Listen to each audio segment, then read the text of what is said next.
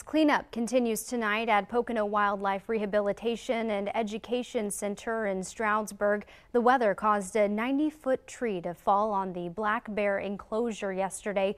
The organization says it's the only facility in the area that rehabilitates cubs, and they need the building fixed by May when the cubs come in. Two local businesses, JF Property Services and Rice's Property Services, are volunteering to remove the tree for free. The center says it's grateful for the help. Took down the tree, we chipped it up, um, removed it off the roof of the structure, and then once we got it down on the ground safely, we cleaned it up for them here. Pen was really well built. Uh, unfortunately, the top beams were made of wood. So if another tree came down, um, or anything heavy for that matter, came down onto that wood, it would break. So yeah, we're looking to have the beams replaced. They also took down another tree which was jeopardizing the fox enclosure.